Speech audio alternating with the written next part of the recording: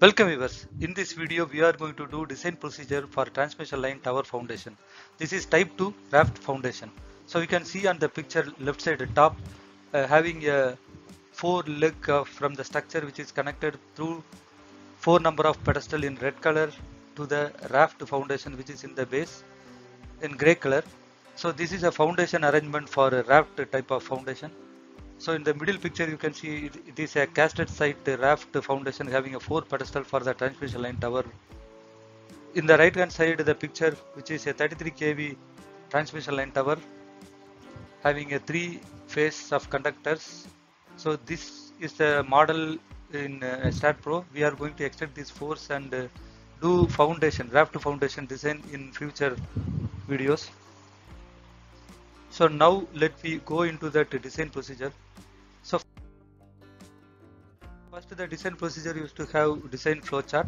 So this is a design flow chart which is comprises of three major parameters in terms of design calculations and finally the detailing. The first two parameters input, analysis, design of elements and finally the detailing. Now let me look into that uh, what is the input are three major categories soil parameters which is to be referred from the geotechnical information.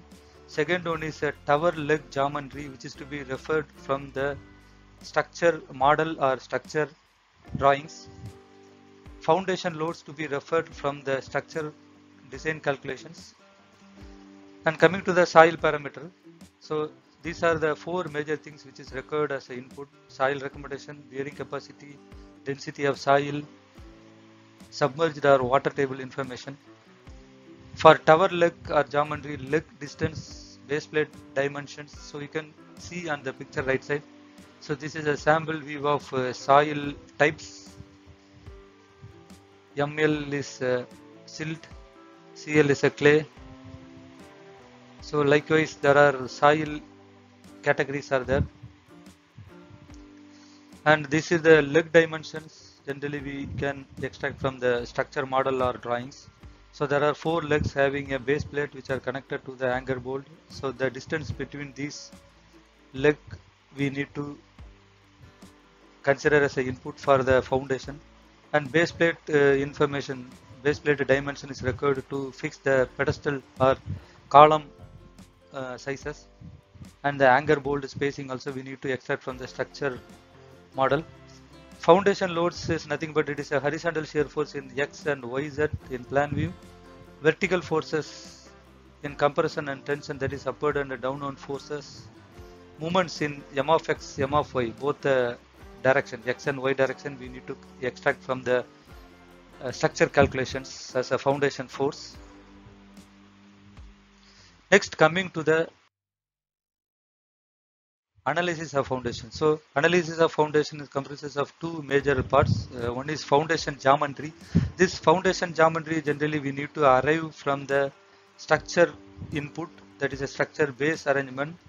And with respect to the soil investigation report the foundation depth we need to arrive for the foundation geometry. Suppose if the soil is good enough to hold the raft foundation or the transmission line tower foundation at 1 meter. We can keep our foundation as 1 meter but if it is going beyond uh, 2 meter as per the soil report then we need to go accordingly. So similar like this uh, raft foundation the type of foundation will also change or vary according to the soil report. If the soil is not enough to hold this transmission line tower foundation or it is like uh, cohesionless soil or it is a black cotton soil or very loose soil then we need to go for a pile foundation or any other soil improvement other than the raft foundation. So the soil report also will change your decision on which type of foundation we are going to do. So likewise so the soil report we need to find out in order to arrive the foundation geometry also and the second one in analysis part is foundation stability. Once after arriving the foundation geometry with respect to the structure and the soil report then we need to check the foundation stability along with the foundation forces. So that foundation forces we need to do majorly the three type of stability check. One is a bearing resistance so it is nothing but suppose the all the forces which is going to apply on the structure and, and to the foundation that forces to be distributed to the soil as a, a pressure uh, uniform uh, pressure as, as which is showing in the red color pressure diagram here. So this entire pressure will be in a downward direction. So because of the reaction opposite reaction the soil will provide a reaction due to the downward pressure so this pressure, the green color pressure should be greater than the downward pressure which is coming from the foundation. So if the upward pressure is greater than the downward pressure then the soil is stabilized even though the foundation load is transferred to the soil. In case if the actual bearing pressure which is coming from the foundation is greater than the soil pressure then we need to increase the plan area of the foundation in order to create a more bearing area so that the bearing pressure will distribute more area and the soil will get stabilized and soil and foundation interaction will get stabilized so that there won't be any settlement or deflection of foundation downward to the soil. So this check we need to do first of all for the soil and the foundation interaction. Second one is check for sliding as the entire foundation is subject to shear or horizontal forces from the structure. There may be a possible if the foundation is weak then it will be slide away from the original position. So this kind of sliding check we need to do. It means the sliding of uh, foundation is based upon the self weight of the foundation. If the self weight is very huge uh, respect to the friction below the foundation between the concrete and the soil. If it is greater than the sliding force which is applied through the structure, then the foundation remain stable. There won't be any sliding encounter. So this kind of check we need to do in the second stage of stability. Then the third one is overturning. As the entire foundation is subject to movement, overturning movement, which is from the structure. It means the two pedestal are subject to tension, opposite to two pedestal are subject to compression. So this way there will be a lever arm distance will be created according to the force. Then the net uh, resultant force among the tension and compression will create the movement or a, a twist of the foundation so that the foundation will twist like this so in order to resist this, the foundation should have enough self weight and the soil filled over the foundation also having enough weight to hold the actuating moment from the structure. If the overturning moment is less than the capacity moment resistant of the foundation then the foundation can be stabilized. Now let we go into the design of each individual elements. So there are four number of elements which is required for raft foundation. So the design of elements which is showing here is more common for uh, substation tower also. So the uh, substation tower also having the same kind of philosophy. In some of the transmission line tower, instead of going for base plate and anchor bolt, they will be going for a stub kind of arrangement also. Yes, that is also another method uh, they are doing but most probably as the legs are very closer to each other in case of a smaller transmission line tower it is better to go with a base plate and anchor bolt arrangement so that the entire uh, structure can be modeled separately uh, by a steel fabricator and that can be laid over the foundation which is already casted with the anchor bolt so this could be a very simpler form when in case of uh, a close legged transmission line tower so this base plate and anchor bolt is preferred for the close-legged transmission line tower also for the substation tower. So coming to the design of elements, the design of base plate, anchor bolt, design of pedestal and bottom pad, each four elements having a different set of uh, uh, design procedures. Let me look into that. so this is design of base plate. So the design of base plate generally we need to do with uh, three parameters. So one is check for compression. Here in the picture you can see the first picture is having a four blue color legs which are connected to the gray color base plate with the green color stiffeners.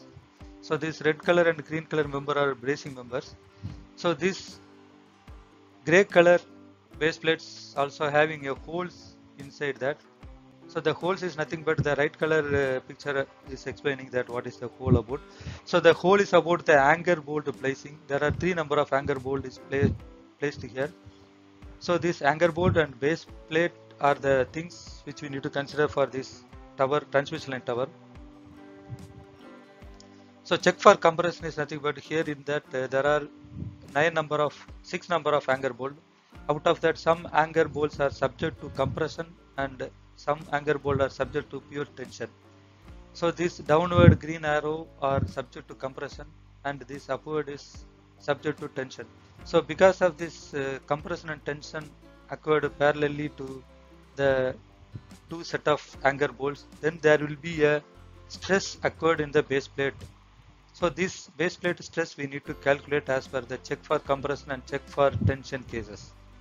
So based upon these two cases, we need to arrive the sizes and the thickness of the base plate. So we will uh, look into this calculation how it is going to work in future videos. And finally, we need to design the weld, weld along the stiffener base plate and with the main leg member. So this weld design also we need to do. We need to do. So this design of weld compresses of three major forces. Uh, these three major forces we need to consider. That is longitudinal stress, perpendicular stress and finally the shear stress. So with these three stresses we need to check whether the thickness which we had assumed for the weld and the length of the weld and the type of weld either it is a fillet or half rounded weld so that weld is capable to withstand these forces that we need to check while doing the design of weld. So with this the base plate design will get over. Next we coming to the design of anchor bolt. So in the design of anchor bolt, there are two two type of uh, things we need to do. One is check for embedment.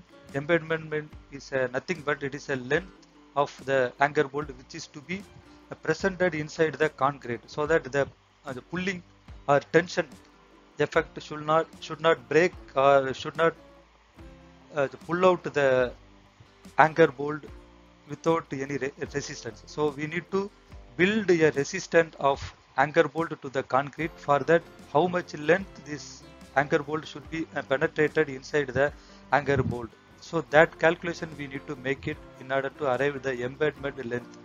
So that step is called check for embedment, embedment uh, length. So this will vary according to the concrete grade, concrete bond stress and the type of uh, anchor bolt and the diameter of the anchor bolt which we are going to place inside the concrete. We will see later. Next check we need to do for anchor bolt is combined tension and shear check.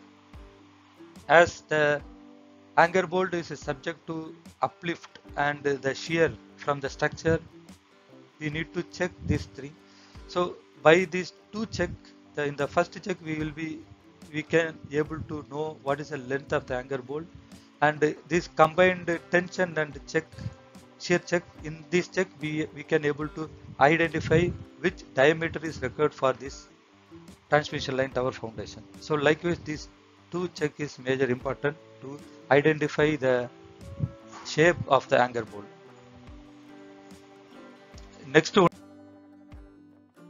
is design of pedestal. So this pedestal if you see in the picture with the animation so the red color is a column or chimney there are two way of forces which are acting one is downward that we can call it as compression also the same member is subject to bending movement similar like in the second uh, picture which is animated as uh, upward forces which is a tension having a same kind of bending so it is a tension with bending. So these are the two pictures. So these two check we need to do compression with bending, tension with bending. So there is uh, various code like European code or Indian code or American code, whatever the code may be. The code, uh, uh, the provision is having each individual type of uh, reinforcement chart for compression with bending and tension with bending. From that we need to identify and we need to pick the reinforcement area for both compression with bending and tension with bending. So this is a design parameter for these two activities. Next one is slenderness check. So we need to check how much length the uh, pedestal can go or how much deep or depth or height the pedestal can go depends upon the uh, cross sectional size or width of the uh, pedestal. Suppose the pedestal is having a very longer length or height, but the width is very uh, slender or very thin, then the column will fail in slenderness. So there is a limitation uh, for slenderness value. So that according to the limitness, uh, limit uh, limitation, we need to check the slenderness value of the pedestal. and finally the reinforcement the reinforcement means it is comprises of two type of reinforcement one is a longitudinal reinforcement which we need to calculate from the compression and the tension with bending cases which is above two cases and finally the transverse uh, reinforcement we need to uh, design as a lateral uh, reinforcement like lateral ties. So with this the design of pedestal uh, uh, the procedure get completed. Next design of bottom pad. So the design of bottom pad is having a three number of three categories of calculation. One is uh, reinforcement steel. So in that reinforcement steel, we need to calculate two steps like one is for cantilever portion, which is showing in the picture right and left side uh, corner or left side edge.